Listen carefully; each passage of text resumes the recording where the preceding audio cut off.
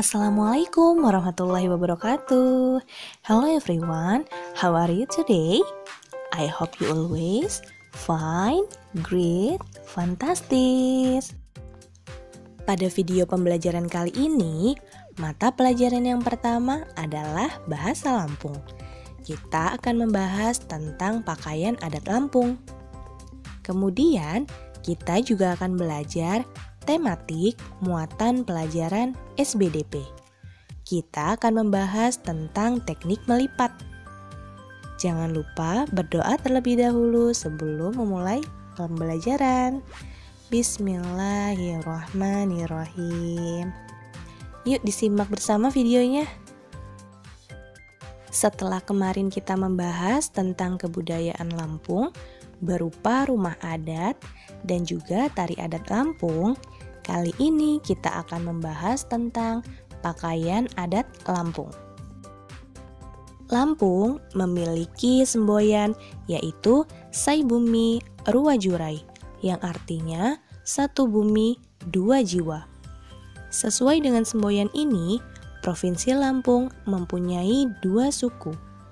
Ada suku Lampung Pesisir yang masyarakatnya tinggal di sepanjang pesisir ada juga suku Lampung Pepadun yang masyarakatnya tinggal di wilayah pedalaman dan dataran tinggi.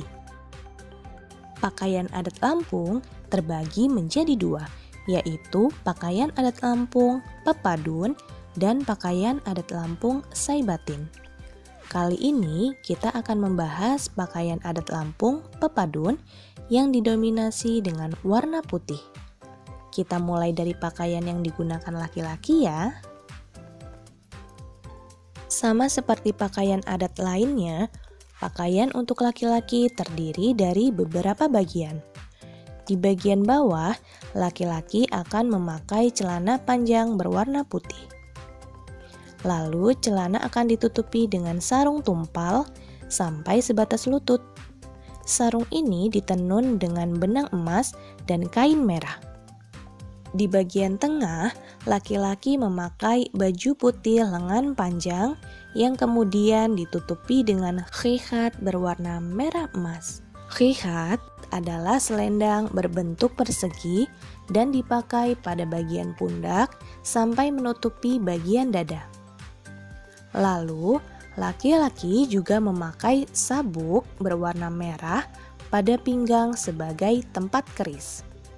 Ada juga hiasan seperti kalung papan jajar, sebuah kalung yang bentuknya seperti perahu bersusun tiga dengan ukuran yang berbeda.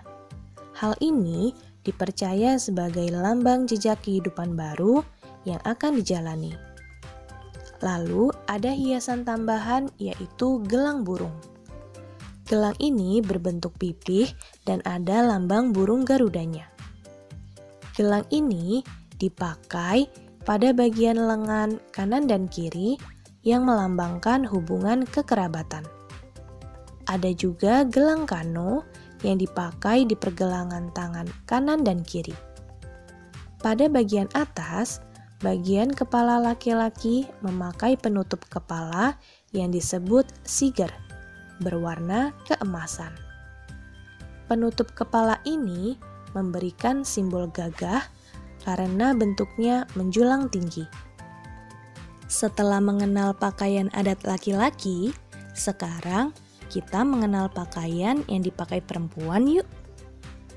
Sama seperti pakaian laki-laki, pakaian perempuan juga terdiri dari beberapa bagian. Dimulai dari bagian bawah, ada kain tapis dewasano yang dilengkapi dengan rumbai ringgit pada bagian bawah.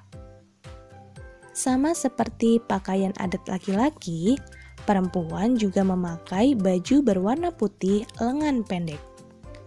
Kemudian dipasangkan sabuk yang dilengkapi hiasan keemasan. Lalu di bagian atas, perempuan juga memakai penutup kepala yang disebut siger. Mahkota emas yang memiliki sembilan lekukan dan bentuknya meninggi. Angka 9 ini melambangkan 9 sungai yang ada di Lampung. Lalu ada juga seraja bulan, hiasan tambahan di atas mahkota siger. Pakaian adat perempuan punya lebih banyak hiasan pelengkap seperti beberapa jenis kalung sebagai perhiasan.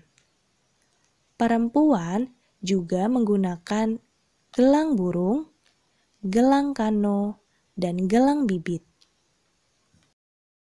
Nah, itu tadi adalah penjelasan tentang pakaian adat Lampung Pepadun. Unik dan cantik sekali ya pakaiannya. Kidos, di antara kalian pasti ada yang memiliki hewan peliharaan di rumah kan?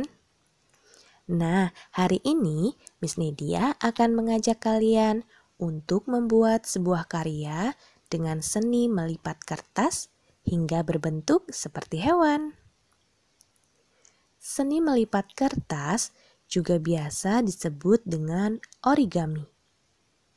Origami berasal dari negara Jepang yang memperkenalkan cara melipat kertas persegi menjadi sebuah bentuk mulai dari bentuk yang sederhana sampai yang sulit. Selain dari kertas warna-warni yang digunakan, seni melipat kertas juga dapat memanfaatkan kertas bekas. Manfaat melakukan kegiatan seni melipat kertas yaitu melatih kreativitas, mengikuti arahan tahapan dengan baik, dan meningkatkan kemampuan berpikir. Ayo, coba kalian perhatikan dan ikuti tahapan seni melipat berikut ini.